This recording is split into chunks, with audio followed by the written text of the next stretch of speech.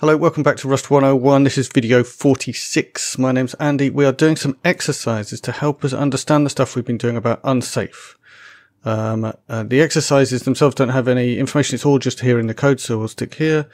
And basically what we've got is an implementation of linked list, the one that we looked at in the last video, um, with this raw pointer.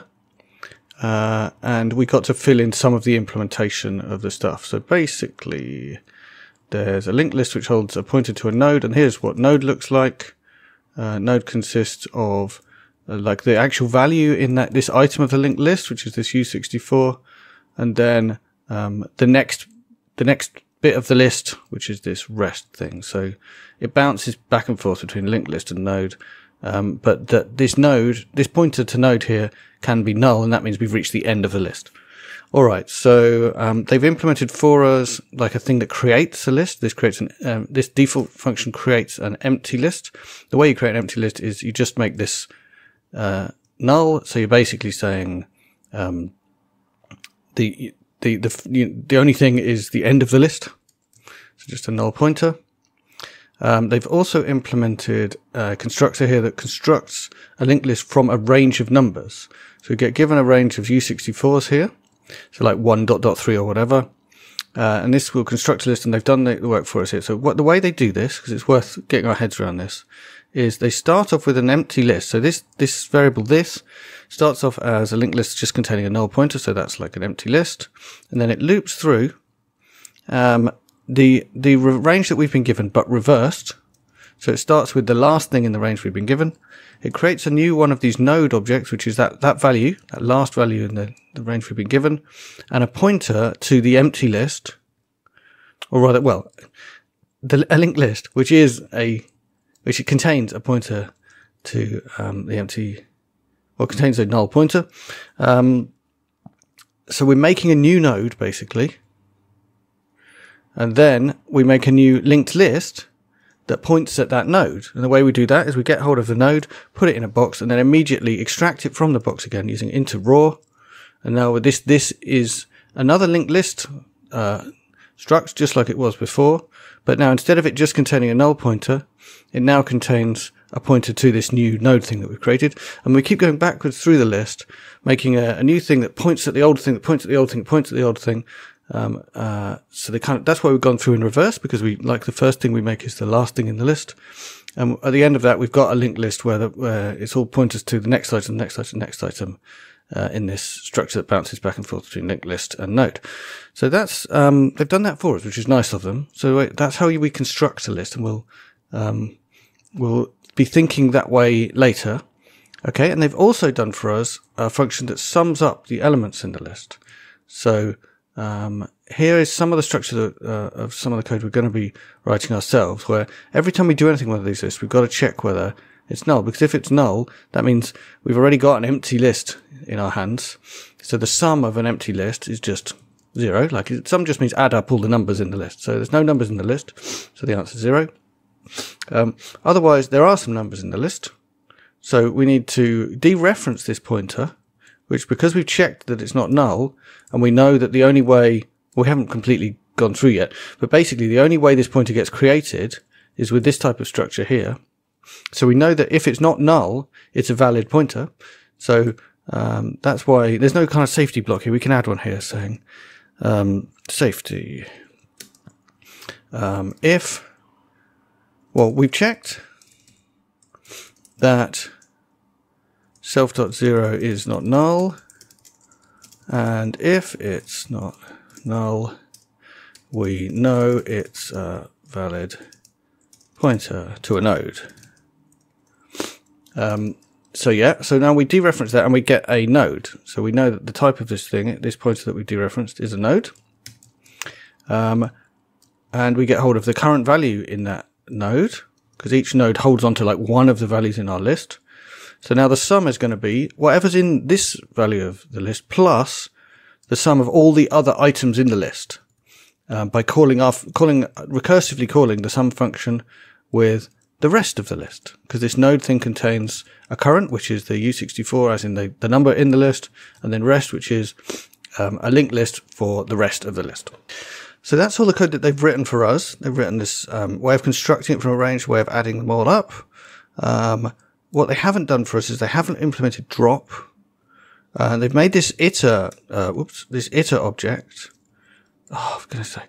They've made this iter object for us, um, which is basically a way of iterating through one of these linked lists, but they haven't implemented the next method for us. So we're going to need to implement essentially the, the, the core stuff of how to iterate through this list. Um, and they also haven't implemented this reverse function, which gives us um, a uh, which reverses the list in place. So changes the list we have into a list that reverses it. And they've given us some tests to check this stuff works. Essentially, can I create and iterate through a list based on a range from zero to five? So when I basically I should be able to iterate through it, collect that into a vector, and it should come out as zero, one, two, three, four and also reversing it. So again, make a, a, range 0 to 5, reverse the list. Now, when I iterate through it and collect it, it should come back, come out as 43210. So let's start by running the tests. When we run the tests, they both fail um, because we haven't done this stuff yet. And actually, at the moment, they're panicking. So um, we've got a few things we need to implement. And the first thing we're going to implement is drop. Um, so let's do let's do it in a way that doesn't work to illustrate what can happen when you're using unsafe code, let's implement drop as um, basically just delete the pointer. So we, have got a linked list. We're, we're dropping it. Uh, so let's just um, box up the pointer we've got, which I think is box from raw self.zero. Uh, now that is unsafe because um, a box always has to be a valid pointer, whereas a raw pointer might not be a valid pointer. Um, oh, we need a semicolon. So, uh, I guess we need to put this into um, a variable which we then chuck away. So let me explain what I'm doing here. So self.zero is a is a pointer to a node. Um, we're dropping our linked list, so we want to delete everything that we uh, are responsible for. Normally, the stuff that you're um, responsible for gets automatically deleted, but because it's a raw pointer, we've kind of deliberately taken that responsibility on ourselves. Um, so what I'm doing here is giving responsibility back to um, to Rust or to the box this box that I'm creating. So essentially, what I'm saying is create me a box out of this raw pointer. Now that's unsafe, as I said, because this pointer might not be valid. So that's why I have to wrap it up in an unsafe box. And then the type of this underscore here is box. And what I'm going to do is just drop it, just let it drop. So by giving it no name, what I could do is like give it a name and then just, I don't know, do nothing. Or I could just say, I could say drop X. Either, all of these are equivalent, basically saying, um, well, the reason I'm creating this box is just so that I can drop it because I know that, um, uh, dropping it will, um, do what I want, which is delete the node that's being pointed to. So does this seem reasonable? Let's try it. Uh, oh gosh, we got a nasty crash. Um, uh, let's see what we whether we got any interesting, useful error messages here. Um, we got a panic. Um, uh, yeah, so we got a panic saying um, uh, that something required that the pointer was non-null. Okay, so we didn't manage to get this to segfault. That's interesting, um, because some kind of checking is happening. Perhaps if we were running in this in release mode, it would have segfaulted. Should we try? Can we do minus minus release here? I'm not sure. Yeah, then we got a segfault. Yeah, so segfault means um, you did something illegal uh, in your code, which um, which indeed we did. We tried, we dereferenced a null pointer. So what happened was, uh, self, we, we, we wrote this unsafe block. Notice we didn't write a like safety comment, which we always should write a safety comment. Um, we didn't write a safety comment explaining why it's okay to do this unsafe thing. And the reason is it's not okay. So what we need to do actually is we need to check whether it's null. So we had a, yeah. So what we can do is if self.zero.is null,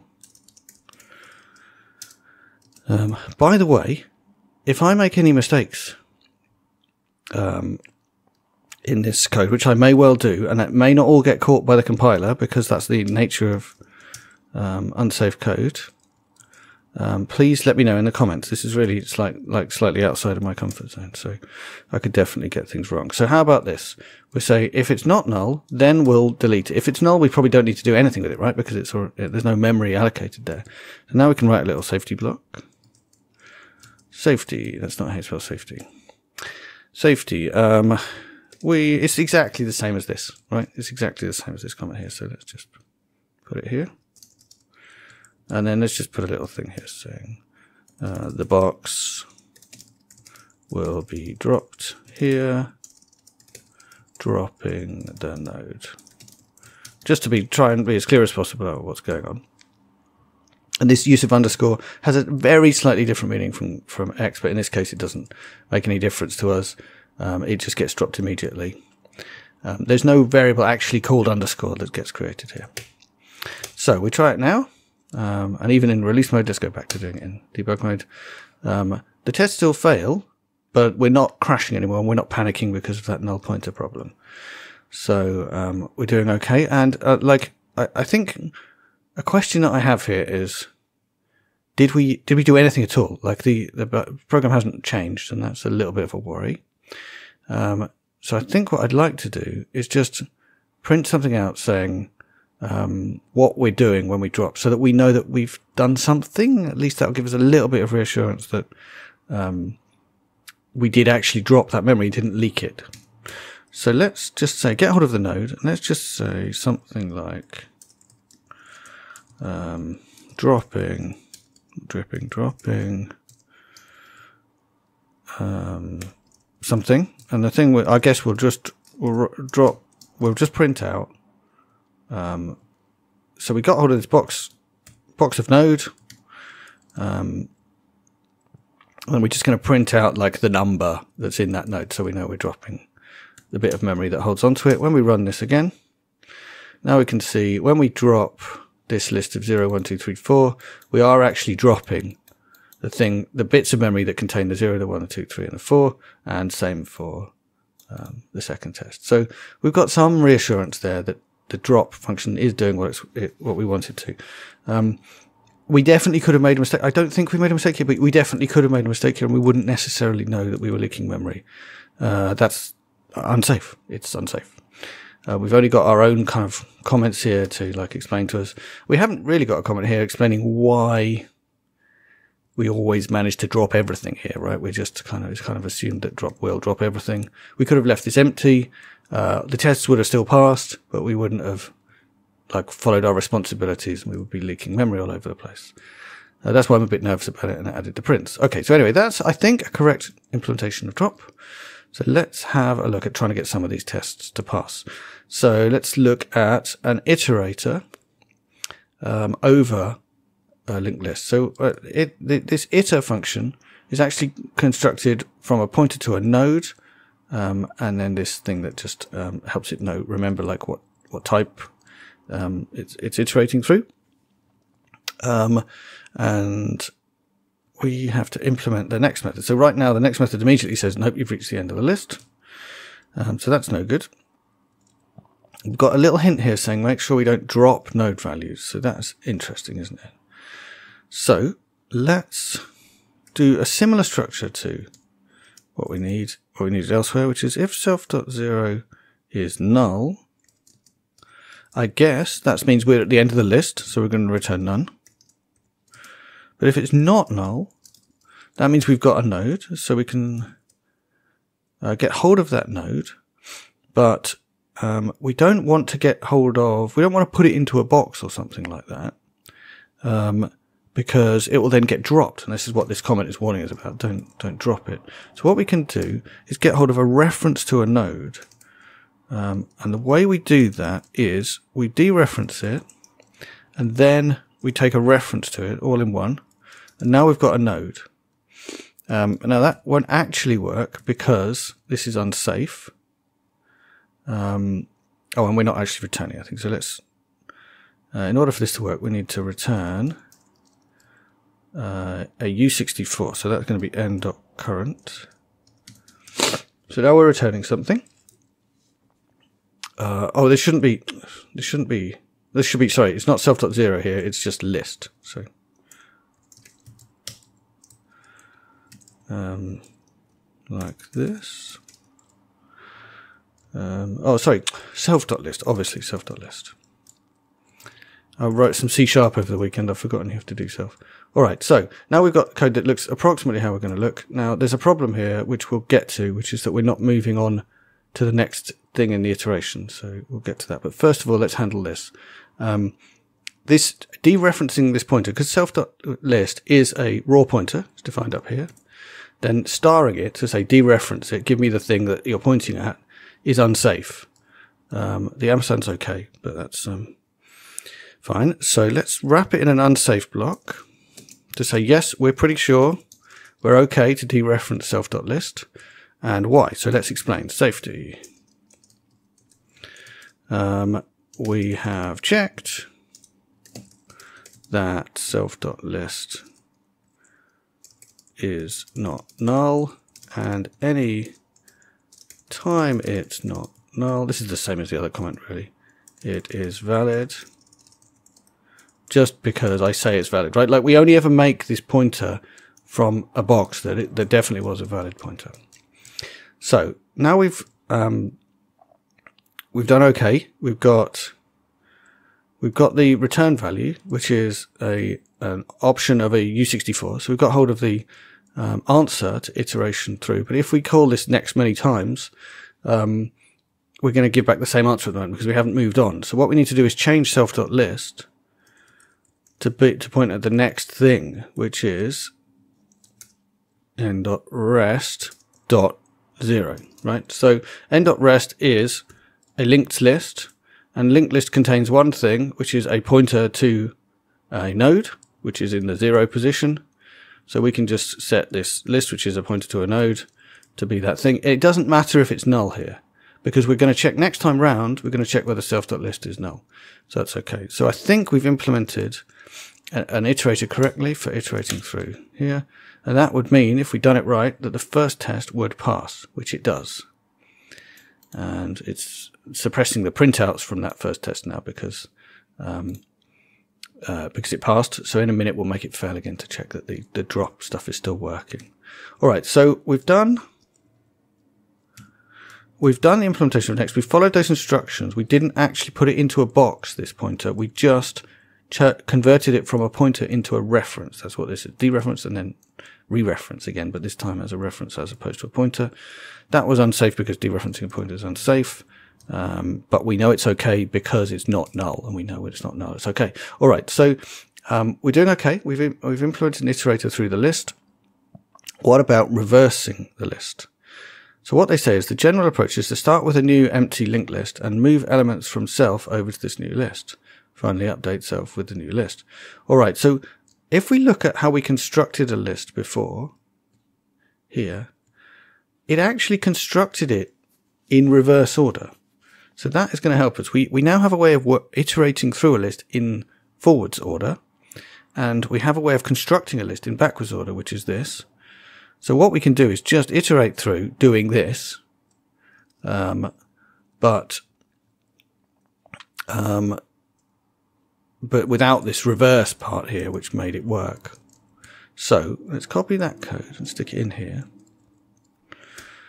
And then think about how it works. So what, it, what this does is it creates a linked list with a null pointer in it. So that means it's an empty list. And then it makes a node that points at that empty list saying, basically uh, it's a list of one thing, right? It's the, um, it's this item and then we're pointing at an empty list. And that means uh, it's a list with one item in it. So um, the, the, what we're doing here is is linking through uh, uh, iterating through range. We don't have range here. What we have is we're going to iterate through self.iter. I guess we just iterate through self maybe. Um, no, not iter maybe. Yeah, so we're we're inside a linked list. We've just implemented iter on that linked list, so now we've got a way of iterating through it. And uh, for every value in there, um, so now this, this iter is going to give us just uh, U64s, right? So for every U64 that we get by working forward through ourself, we create a node, we set its current to be uh, that value we just got from iterating. And then its rest, as in the pointer to the rest of the list, is just the current list that we've got. So now we've got um, a new thing called node, which is a node which points at the list we had before. So now we just wrap that up in a linked list by saying we box up the node and then we immediately unbox it again. So now it's a pointer to that node, which we know, by the way, is a valid pointer because it was made by making a box. Um, we wrap that into a linked list. And now this thing called this, which is probably not the right answer. Let's call it um, uh, a new list, maybe. Um, and then we just replace our new list that we started off. We started off with it empty. Now it's the it's going to be replaced by um, the new thing we just created, this linked list, which is a pointer to the node, which points at the other the previous list. And now all we need to do is replace. Uh, hang on, is that right? Um, oh, it's just yeah, it's just, it, we just once we finished, we just replace ourselves with that new list that we've made. And I think that is the answer. Um, yeah, we followed those instructions. And with any luck, we'll pass both of our tests. Excellent. Happy about that. It's only warning us that um, we're not using functions, which is okay. Um, what I do want to do though is make both of our tests just fail so that I can check that they clean up their memory correctly. Let's just put add in a panic here. Oh, there's no semicolon. Uh, so let's just panic. Uh, okay, like that. Um, and just double check that we haven't broken anything, that our dropping code is still working. So yeah, um, when we run the reverse test, we construct a list and look, we drop the old list, the what, 0, 1, 2, 3, 4, and then we do stuff and then we drop the new list 4, 3, 2, 1, 0. So that's really comforting. Uh, and then th- this is the first test, which has come out second this time. And it just shows that we just dropped the thing. So let's just think about this, um, the fact that we're doing two drops here, because that's interesting. Um, and, and encouraging because it means we haven't leaked memory because essentially we created a linked list here and then we called reverse and we ended up with another linked list. So this was a, a linked list 0, 1, 2, 3, 4. We reverse it. We've got another linked list 4, 3, 2, 1. It's, it's held in the same variable, but if we look at our reverse thing, what we actually do is make a completely new one and replace self with that new one. And it, we start to see how clever Rust is that and what it does for us. When we do this, replace self with this thing here, it actually drops the old self um, without us having to think about it. So that's why there's two drops going on here. Um, we we drop our we drop the zero one two three four uh, replace it with this um, 4321 that we've made inside this new list thing here. Uh, and then later that gets dropped. It basically gets dropped at the end. Um, here, so get rid of these. Check our test still pass. Let's uh, just run it in release to make sure no crash happening in there or anything like that. So I think we've done it. As I say, uh, all quite out of my comfort zone. I may well have done it all wrong. Um, but what I've tried to do is document every time I used unsafe, I tried to explain why I think that thing is unsafe. All of this, um, doing this has made me think, um, would it be exactly the same but safe if we replace this with an option of a box of node like this? Um, maybe you could tell me in the comments why that's not as efficient, or maybe it is as efficient and we could make this safe. Uh, hope you enjoyed. Uh, more exercises on unsafe stuff coming next time. See you then.